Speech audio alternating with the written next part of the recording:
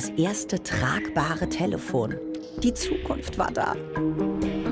Und es kam noch besser. Die Einschienenschnellbahn.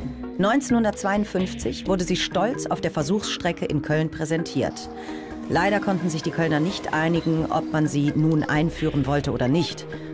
Heute fährt sie in Asien. Groß wie ein Kühlschrank, aber ziemlich präzise. Seit September 1957 galt im Land ein Tempolimit. 50 Stundenkilometer innerorts. Um Geschwindigkeitssünder festzustellen, arbeitet die Polizei neuerdings mit Radar. Es ist ein komplizierter Apparat, der sich hinter einem unscheinbaren Ausschnitt verbirgt. Ein Kilometer zu viel und schon gibt es